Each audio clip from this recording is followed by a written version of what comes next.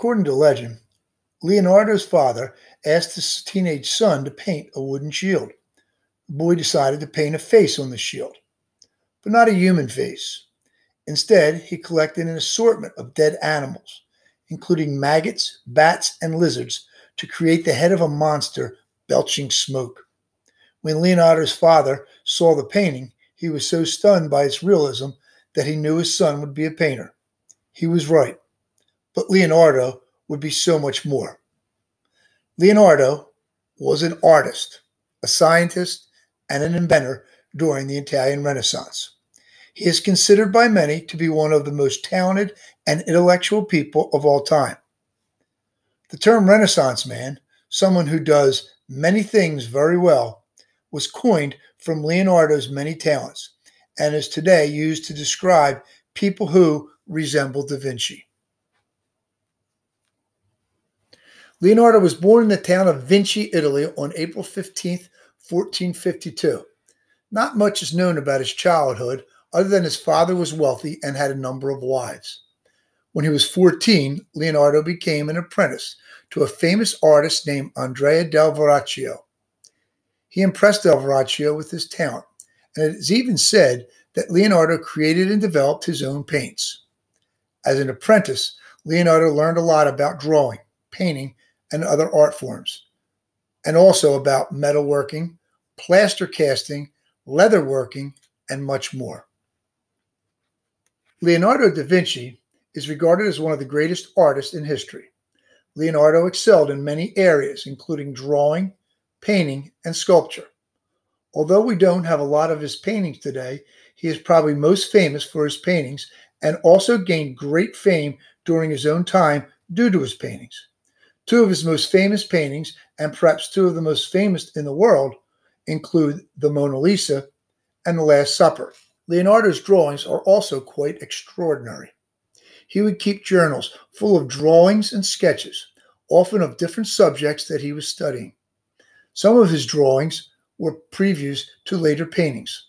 Some were studies of anatomy. Some were closer to scientific sketches. One famous drawing is the Vitruvian Man. Is a picture of a man who has perfect proportions based on the notes from the Roman architect Vitruvius. Other famous drawings include the design of a flying machine and a self portrait. Many of Da Vinci's drawings and journals were made in his pursuit of scientific knowledge and inventions. His journals were filled with over 13,000 pages of his observations of the world.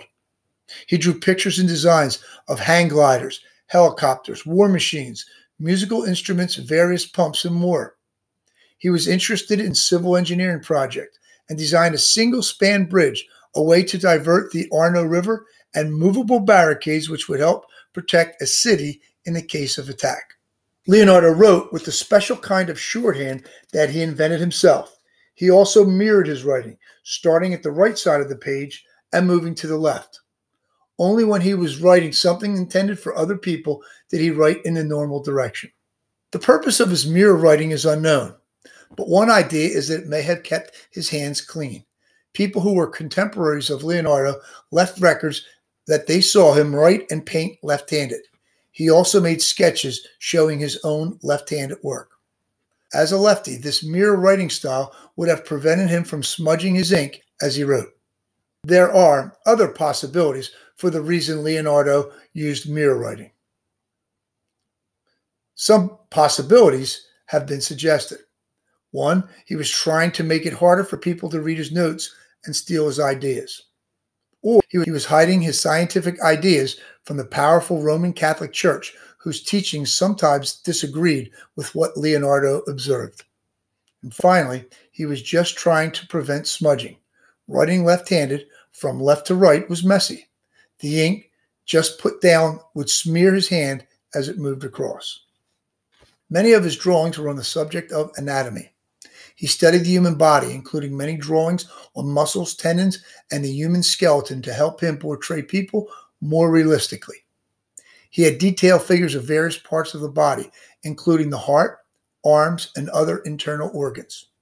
He dissected or cut up the bodies of dead people and used what he learned to make accurate anatomical skeletons of the human body. Leonardo didn't just study the human anatomy either. He also had a strong interest in horses, as well as cows, frogs, monkeys, and other animals. Many people had considered Leonardo da Vinci to be solely an artist and were amazed at the breadth of his knowledge.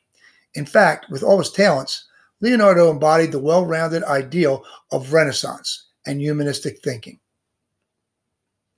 He was one of the most multi talented individuals who ever lived a painter, architect, inventor, engineer, and a scientist. All these qualities and many more made him the ultimate Renaissance man.